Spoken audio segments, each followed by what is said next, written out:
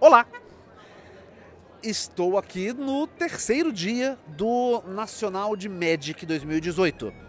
É, se vocês virem mesas vazias, isso é porque, como eu disse, é o terceiro dia, na verdade, o fim do terceiro dia, mas não é dizer que tem pouca gente jogando aqui. O Nacional de Magic é um evento que passou alguns anos sem existir. Ele tinha, tinha virado os qualificatórios pro, pro WMCQ. Antes disso, por muitos e muitos anos, ele foi apenas um campeonato T2. É, e no caso era T2 mesmo, porque na época não chamava Standard. Mas esse ano virou realmente uma festa do Magic, sabe? além dos torneios, além do torneio principal, que é o que sempre teve, é o nacional, também tem lojas, uma porrada de eventos. Ué, cadê, cadê, cadê, cadê, cadê? Aqui, bem aqui. Esse aqui atrás é o quadro com todos os side events que estão disponíveis. E assim, bom, tem tem uma galera bagunceira aqui embaixo, ó, que não vale, não vale nada. A galera muito, muito, reclamando, quer, quer achar defeito, defeito em tudo. Mas falando sério, virou uma festa, virou um evento de Magic como o GP. E a comparação é feita de propósito. Mas eu trombei com um camarada no. com um camarada por aqui, o Éder. Curiosamente um juiz que não está julgando, mas está trabalhando na organização do evento. E eu parei ele um momentinho para discutir como que, como que está sendo o Nacional, o que tem de diferente no Nacional esse ano, o que faz a diferença no Nacional. Vamos falar com ele. E aí, Eder, tudo bom? Tudo ótimo. Eu sei que você é juiz, mas o daltonismo bateu forte, você não está com a camisa preta do juiz. É, foi uma escolha minha. Na verdade, eu estou como juiz hoje no evento. Uhum. Porém, o meu, minha função hoje é Event Manager. Certo. Ou seja, meu, meu trabalho aqui é garantir que os eventos paralelos, todos os eventos paralelos ocorram, ocorram com o mínimo de atraso possível, que as pessoas que tenham qualquer tipo de dúvida ou problema em relação aos eventos paralelos sejam solucionados. E para isso eu preciso movimentar pelo salão. Se eu tô com uma camisa preta, a primeira pessoa que tiver uma dúvida me agarra e me para no caminho. Então eu preciso ter essa Mas, mas, mas puxa, você, nessa de evento, eu achei que o Nacional era só o meio evento, só tinha um torneio e era só isso que tinha que qualificar, e quem não qualificou não tinha nenhuma razão para ter vindo no evento? Ah, longe disso, amigo. Side Events, esse final de semana, contado todos os Side Events, tivemos mais de mil jogadores apenas em Side Events, o que é o dobro do evento principal. Ah, puxa, então foram 500 no, no evento principal e mil espalhados em Side Events. Eu não fechei a conta completa, mas eu acredito que o número de jogadores que jogaram eventos, para, eventos que não eram evento principal uhum. tem mais que o dobro que os jogadores que jogaram evento principal. Isso estamos falando em totais ou jogadores únicos? Totais. Os únicos eh, precisa mandar os eventos, reportar todos os eventos, fazer os cálculos, então eu trabalhei apenas com números totais. Ainda assim, eh, eu acredito que tem números únicos também, porque temos jogadores de Pauper que não jogam Standard, os de Legacy, de Modern, que são jogadores dedicados e esses não jogaram Nacional com certeza. Mas, mas, mas, mas o Nacional não era assim? Não costumava ser só o, o, o main event e, e sem mais nada?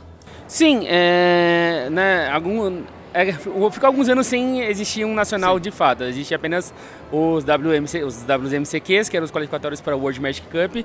Porém, o público pediu e voltamos com o nacional. E a City Class decidiu fazer dessa a festa nacional do Magic, o evento nacional do Magic. Temos o GP, que é um evento é, de um outro nível internacional, porém a nível nacional, né, que é um evento brasileiro, no, no, chamado nacional. A decidiu transformar essa numa festa do Magic. Tanto é que temos um temos tivemos mais de 17 eventos diferentes em cada um dos dias, como vocês podem ver. Um como vocês estão vendo aqui atrás da gente.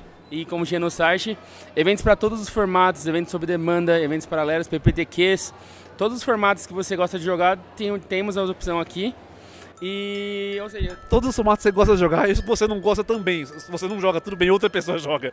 Provavelmente. É. Eu acho que exceto Tiny Leaders e Vintage, acho que tinha tudo esse final de semana. Pô, é verdade, eu tava jogando selado Tio Headed. Bom, Eder, muito obrigado. Muito obrigado também por explicar que nem todo juiz que está no evento de Magic está julgando um torneio de Magic. Que é uma, é uma lógica que soa razoável. Sim, é, existe um, um trabalho logístico que às vezes são feitos por juízes e às vezes é feito por não juízes também.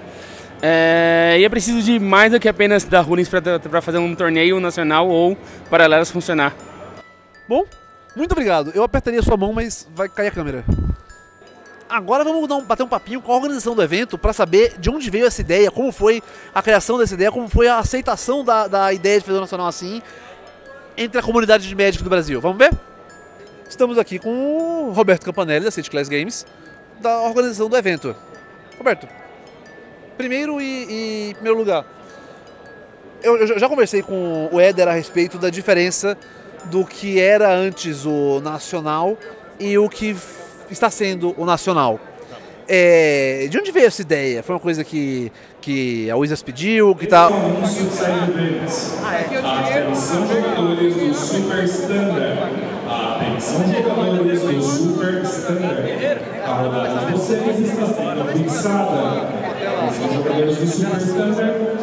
Vocês fixada no ponto de encontro roxo jogadores do Super Standard. A rodada de vocês sendo fixada no ponto de encontro roxo. Roxo, hein? É qualquer um, tá bom. Vamos dizer. Já conversamos com o Éder a respeito de, da comparação do que era o Nacional historicamente e o que está sendo o Nacional agora. Mas de onde veio essa mudança? Isso foi uma coisa que, que a Wizards pediu, que está sendo feito ao redor do mundo? De onde veio isso? Não, na verdade foi. Oi, sou Roberto Campanelli. Na verdade foi uma iniciativa nossa é, da City Class, lá em conjunto, quando nos solicitaram uma proposta para tentar participar do processo né, de, de fazer o Nacional, para fazer o Nacional. É, e a gente teve a ideia de transformar ele num evento grandioso, num evento que tenha mais oportunidades e torneios para os jogadores. Então, baseado até na, num pouco da experiência que a gente teve na organização de alguns GPs, a gente tentou trazer um pouco uh, da experiência do GP. Então, trazer uma nova experiência para o Nacional 2018. Como era no passado, eu não posso falar muito porque eu também não acompanhei. Teve esse um pouco esse delay, né, do WMCQ que entrou na, na, no circuito. É, e honestamente não acabei não, não, não, não indo no, no, no nacional do ano passado. Mas a gente quer se posicionar né, com, com, com esse formato de evento como sendo um mini GP realmente acontecendo no Brasil. A comparação com o GP é, é, é óbvio lulante. Tem muitas coisas daqui que eu vejo que é derivado do GP. O, fato de ter uma prize wall, de ter side events, de ter atrações, de ter artistas, de ter gente. É muito bacana, mas, mas eu cheguei a comentar no GP, não, não que seja fácil organizar um GP, longe disso, independente de todo o apoio que tem, não é fácil organizar um GP, isso ninguém está discutindo. Mas é, eu havia entendido que tem muito mais apoio da Wizards e da Shannon Fireball para organizar o GP do que para organizar o Nacional. Aqui, como é isso? É, eu não sei se você pode falar a respeito dessa diferença do que de onde entra o Wizards, onde entra a Channel Fireball e onde, onde entra a organização. Eu não conheço a fundo o contrato que eles têm, Channel Fireball e Wizards. Acredito certo. que seja algo de longo prazo, certo. com uma quantidade já pré-estabelecida de produtos que eles mandem, tanto de promo quanto de carta promocional, né, quanto de material para Prize Wall. É, mas sim, existe um, suporte maior para os GPs, porque já é um evento consolidado, em contrapartida aos nacionais. A verdade é que a gente tem o apoio da Wizards, que é a detentora da, da, do evento, né? A gente está como organizador, Tournament Organizer, mas com a parte das cartas promocionais, que é o que eles nos enviam para entrega para os jogadores que estão presentes aí nas primeiras rodadas do evento principal e para que a gente tenha um atrativo é, em alguns torneios paralelos mais o material de booster draft que é concedido para os jogadores que já estão participando do torneio principal também. Sim. E mais algumas boxes que eles dão para a gente entregar como premiação em alguns torneios paralelos, mas é, é esse o suporte que a gente tem. Tá. Então, então a Wizards. GM19, né? Ah, sim, sim. Não, é, é, que é a coleção vigente, claro. É, então a Wizards eles mandam de fato alguma quantidade de box para ser dado. Pra... Então eles esperam que tenha algum torneio paralelo. Sim, os trials, que, que é uma, quase que uma obrigatoriedade, né? Porque cada país, dependendo da quantidade de pontuação dos jogadores, né, para que, se, que eles possam se qualificar para o main event, uh, no caso do Brasil são 300 pontos. Então a gente pode realizar durante o, o, o torneio três trials. Uh, o TO, o organizador, no caso a City Class, a gente recebe um PPTQ adicional. Então na temporada, esse PPTQ ambos foram realizados aqui no Nacional, então você tem duas oportunidades de jogar um torneio Premier também. Uh, mas não tem uma obrigatoriedade de você realizar outros torneios. Isso partiu muito realmente daquilo que a gente já fez também nos, nos GPs, né? um pouco da experiência disso aí. E, bom, então eu, eu acredito que eu estou correto em afirmar que, tirando, tirando o M19, tudo isso que a gente está vendo aqui, Modern Masters, Master 25, Iconic, Commander, Kaladesh, BFZ, é, é, exato, bicho, tudo isso que é Dragon Shield, Sim. todos esses produtos, isso foi você que tirou do chapéu. É, Playmat, a parceria com, com o Jukebox, que fabrica é, box nacional, Sim. tudo isso foi você que correu atrás? Sim. São materiais que a gente comprou para deixar uma price wall interessante Uh, que a gente não ficasse somente naquela do booster que tem a 10 ticks, que é o booster de M19. Uhum. Então a gente consegue ter produtos num valor é, a, a, que a gente precisa revendê-lo, vamos dizer assim, pelo que ele for comprado, mas aí dando opção para o jogador escolher o que ele precisa no momento. Agora, então me, me conta uma coisa. Então você, você conversou com distribuidoras de cartas sobre a sua ideia de fazer isso e conversou com fabricantes de, de deckbox. Você, não comprou nada escondido de ninguém, claro. É, qual foi a, a, reação do seu lado do balcão a essa ideia de fazer um, um nacional como um mini GP? Olha, uh... Não entendi. É o, é, é, é o seguinte, você, você, conversando com as com a distribuição, não, com distribuidoras fabricantes, ó, vamos, vamos pegar, eu acredito que teve uma de três reações. Ou falaram, nossa, que ideia de dinheiro que você vai jogar dinheiro fora.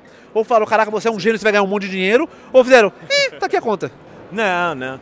Eu acho que assim, é, é, ao apresentar também esse projeto para as distribuidoras, é, fabricantes, ah, e boa parcela da comunidade, a gente realmente conseguiu um apoio desse grupo, porque eles estão interessados também em realizar eventos. Então eles estão querendo participar mais, eles estão querendo estar mais próximos dos jogadores, estão querendo incentivar mais o jogo também, porque é uma, uma é um ganha-ganha, não adianta. Se não tem naturalmente, jogo, exato. Se não tem jogo, não tem torneio, não tem novos jogadores, você não tem tanto consumo desses produtos. Então eu acho que é uma, uma junção de todas essas áreas que é o mais legal, né? A gente tem oportunidade e possibilidade de unir várias áreas, distribuição, é, é, fabricante, loja e toda a comunidade. A razão pela qual eu pergunto isso é porque o pessoal da distribuição, assim como da é o seguinte. Esse é um anúncio do site eventos. Mais um anúncio do site eventos. É. Eu até vou tentar falar porque de repente consegue. É, a galera tá reclamando de, de. Tá reclamando. Eu não sei se o som vai ficar audível, mas o alto-falante é mais side event sendo anunciado e é isso que está impedindo a gente de continuar falando toda vez. Isso, no painel roxo que vai ser a rodada. Se você não veio, se você perdeu a sua rodada para o lado das quatro, você devia ter olhado o painel roxo. Como eu dizia, a razão pela qual eu pergunto da opinião da distribuição é o seguinte: vocês são da organização, você é a organização, você é suspeito de falar. Se eu perguntar se você achou que isso daria certo, eu acho que se você achasse que isso não ia dar certo, você não tinha feito. É suspeito de falar. Quanto não, ao. É, é, é, por algumas vezes passa na cabeça que é um pouco utópico, né? Sim, é uma coisa mais quanto, quanto aos jogadores de maneira geral, Sim. bom, quem está aqui é porque comprou a ideia, quem não está aqui, está em casa assistindo esse vídeo, já percebeu que pode não ter sido uma boa ideia perder isso que fazer. As distribuidoras, as pessoas com quem você falou para fazer isso acontecer, são, aí sim, essas são pessoas que já sabiam que isso ia acontecer de antemão, e aí eu fiquei perguntando, tipo, ah, como será que eles reagiram à, à ideia? Mas olha, é, gostaram bastante. Na verdade, quando a gente apresentou, inclusive para a Coqui, a, a questão de realizar uma reunião aqui e um apoio a, aos painéis para que eles acontecessem, de primeira mão eles já aprovaram, acharam que era uma ideia muito bacana. Primeiro da oportunidade de encontrar aqui os lojistas também, que muitos são jogadores. Uh, e na questão também de você ter a, a, a exposição da marca deles aqui no evento como uma, olha, estamos apoiando, nós, nós queremos fazer parte desse processo. Uh, então, ambos, nesse caso aqui hoje, é, seria injusto porque eu não convidei muitas pessoas, muitas empresas também, mas assim, é, quem eu pude conversar, que foi a Jokebox e a Coqui, num primeiro momento todos já apoiaram e acharam muito bacana. Maravilha, só terminar o anúncio do painel roxo, pessoal, painel roxo, painel roxo todo painel mundo. Roxo já ficou gravado. É. Bom, esse foi o Roberto Campanelli, da City Class Games, da organização do evento. E, pessoal, eu acho que eu vou encerrar por aqui. Para todo mundo Você que. Gostou? Cara, eu tô. Essa é a parte importante eu... também. Pra caramba, ainda mais que eu, que eu consegui fazer 3-0 hoje no, no Two Headed, enchi. Eu, eu, peguei, eu peguei deck box nova, peguei shield de novo, tô tudo, tudo renovado pro. é, eu vou encerrar o evento por aqui. Roberto, muito obrigado pelo convite, muito obrigado pelo evento, muito obrigado, por, pela sua maluquice de ter ideia nova. E para todo mundo que reclama, ai meu, que chato, no Brasil só tem um GP. É, meu bem, você tem que abrir os olhos, porque senão acontece um evento tão bom quanto e você não viu o que aconteceu. Isso aí. Falou. Obrigado.